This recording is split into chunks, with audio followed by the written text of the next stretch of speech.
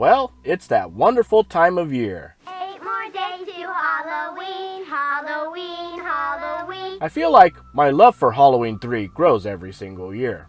It was one of those movies I watched as a kid, but never fully appreciated until I got much older. Especially for the fact that it's the black sheep of the Halloween franchise, mostly because it doesn't have Michael Myers as the central villain. Myers is cool and all, but there's something magical about Season of the Witch. Thinking about it, Halloween 3 may very well be my current favorite in the series, especially now that the Myers and Laurie Strode saga is officially over. Speaking of Halloween, like so many of you, I was very disappointed with Halloween Ends. The best part of that entire experience was seeing John Carpenter's The Thing on screen. After all, it's the perfect fall movie. Too soon? Alright, let's restart. Halloween 3 was meant to take the franchise into anthology territory, making each new sequel its own different story. The film I'm reviewing for you now is basically an extension of this idea. Let me tell you about a new short film called The Shed.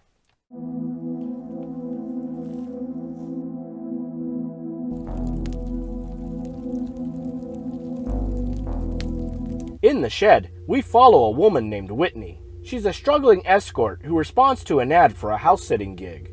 Whitney calls the number and meets up with Barbara. Barbara has some business to attend to out of town, so she hires Whitney to watch over, you guessed it, the shed. Sounds easy enough, right? Good luck. God bless. See you Sunday.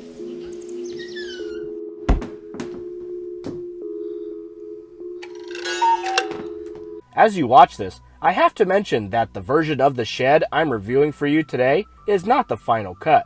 I was granted an early look at the film some time ago, so what I watched is technically a first look version of The Shed.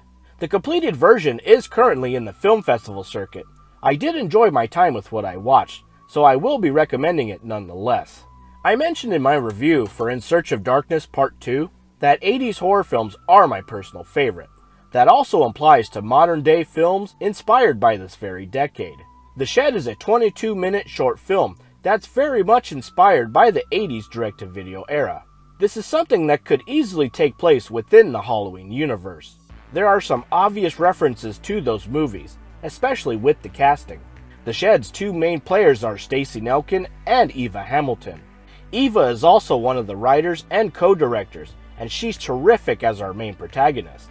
And I gotta be honest, the addition of Stacey Nelkin is what initially drew me to this film, because she's one of the main stars of Halloween 3. And get this, The Shed also marks Stacey's return to the horror genre. Fuck yeah! The Shed is sort of a home invasion story, where we follow Whitney as she's being targeted by some type of creature as she's house sitting.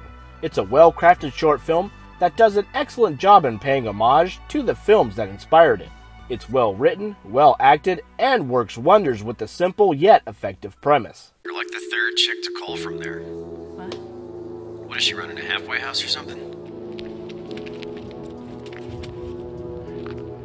They're coming to get you, Barbara. The Shed has Halloween DNA all over it, especially with the musical cues, which sound a lot like the jump scare noises in Halloween 3. These jolts of tension work, for the most part. The Shed also has an awesome synth sounding score. Everything about this short film works so well, although I do have one minor complaint. My main issue with The Shed had to do with some of the night scenes. This is a gorgeous looking film, but I think The Shed would have benefited with having a little more light on the night scenes. It gets really dark towards the end.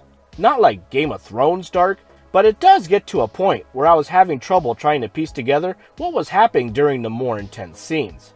As I mentioned from the beginning, I watched an early cut of the film, so take these criticisms with a grain of salt, as it's not indicative of the finished product.